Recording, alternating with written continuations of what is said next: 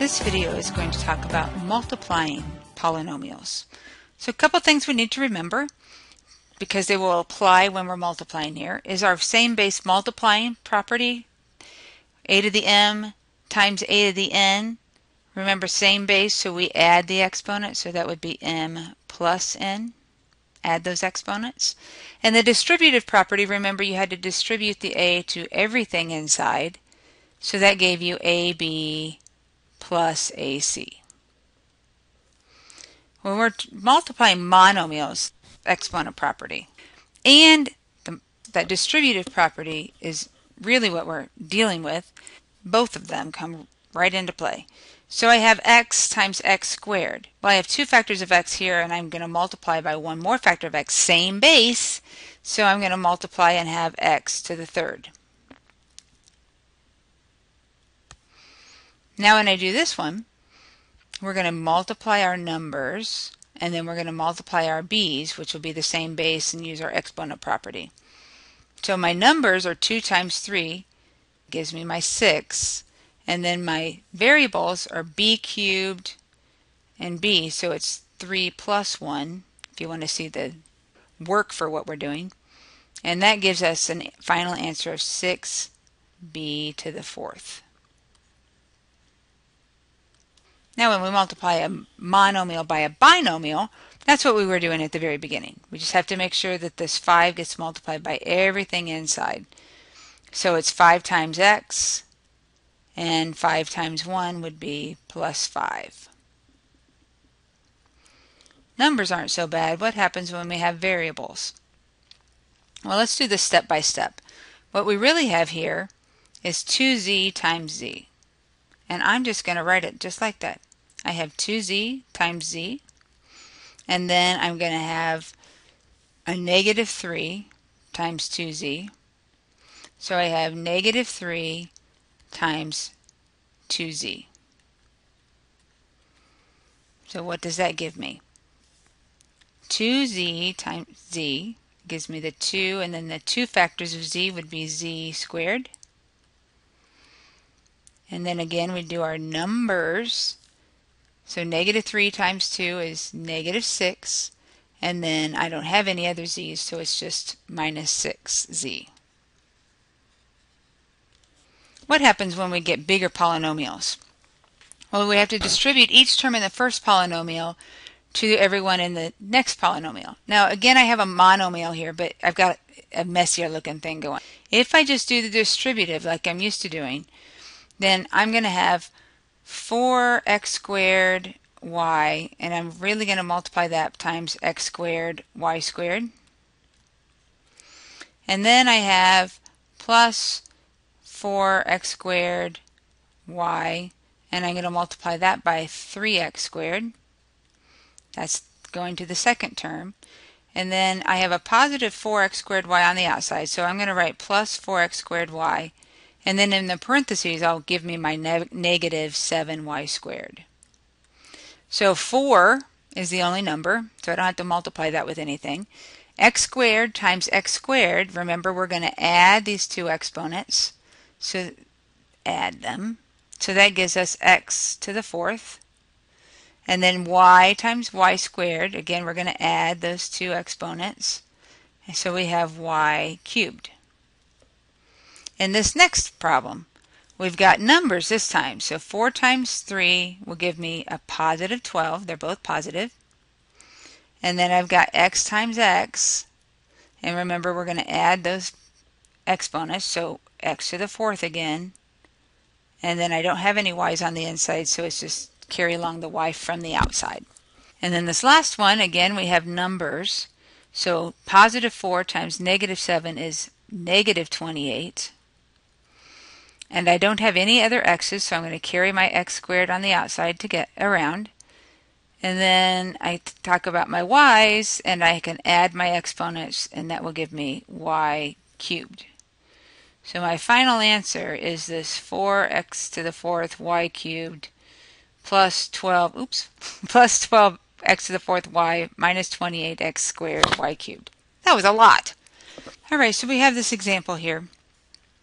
And we can choose which way we want to go. And I'm just going to go ahead and do the distributive property. So I'm going to take my 6a squared and make sure it gets multiplied by both terms inside this polynomial. So 6a squared times 3a squared, 6 times 3 is 18, and a squared times a squared gives me 4 factors of a. And then I'm also going to take that 6a squared and multiply it by my negative 2. 6 times negative 2 would be minus 12, and I carry my a squared along. Next I'm going to come in and look at my 2a or negative 2a. So negative 2a times my 3a squared will give me negative 6 and I have three factors of a. And then I take my negative 2 and I multiply it, negative 2a, and multiply it by negative 2 and I have plus 4 and then carry along the a. And finally, I'm going to take this 5 and I'm going to multiply it by the 3a squared. So that's plus 15a squared. And then I take it, the very last thing is to take the 5 times the negative 2, which will give me minus 10. So now it's time to combine like terms. So let's see what we have. We have an a squared term here and an a squared term here. And I've got nothing else in common. That's the only like terms we have. So let's rewrite the problem. 18a to the fourth. Negative 12a squared plus 15a squared would be plus 3a squared. So I've taken care of that, and I've taken care of my like terms. Negative 6a cubed plus 4a, It's a 4, and minus 10.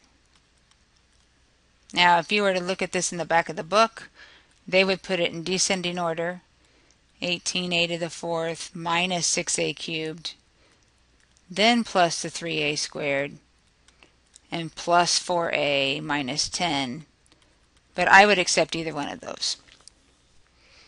All right, last time we did a nice distributive. Let's try this one with a box just to see what happens with a box. So I need three columns for my first polynomial. So there's going to be my three terms right there. One, two, three. And then I need three. This one never has anything. So there's one term, and there's my second term, and there's my third term. So let's fill them in. It doesn't matter which one goes where, but each box gets a term from a polynomial and one goes side to side, one goes up and down. So this one is first, so I'm going to go side to side with this one just because I want to. x squared, and then the second box would be minus 6x, and the next one would be plus 5.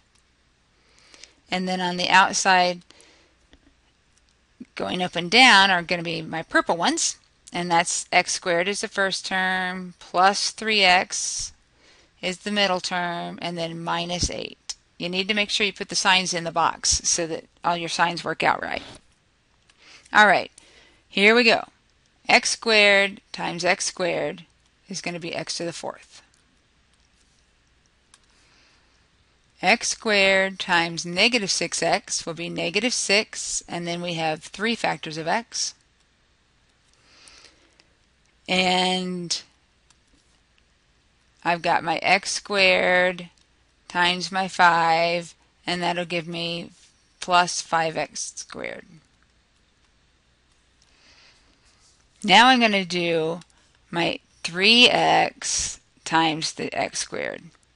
So that gives me plus 3x cubed. There's three factors. And then I'm going to do my 3x times my negative 6x. So negative 6 times 3 is negative 18, and then x squared.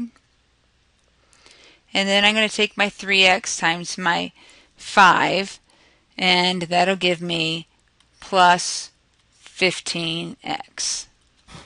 I'm going to take negative 8, and I'm going to multiply it by x squared. So I have negative 8x squared. And then I'm going to take my negative 8 times my negative 6x, and that's going to give me a positive 48x. And then finally, I'm going to take my negative 8 times my 5, and that'll give me a negative 40. And if you look real carefully, I did my like terms in like colors. My like terms end up being on a diagonal. So let's combine our like terms then. x to the fourth is the only one that we have that's to the fourth power. On this diagonal is my x cubed, so 3x cubed minus 6x cubed, so it's six, negative 6 plus 3 would be minus 3, and then x cubed. And here's a little bit more work here. We have negative 8 and negative 18. So let's do it over here. Negative 8 minus 18 plus 5. Well, if I do negative 8 minus 18, that's going to be a negative 26. And then plus 5. And negative 26 plus 5 will be negative 21. So we have minus 21, and those are all x squareds. And then we have 48 plus 15. They're both positive, so that's going to be plus 63x. And then we have minus 40. Wow.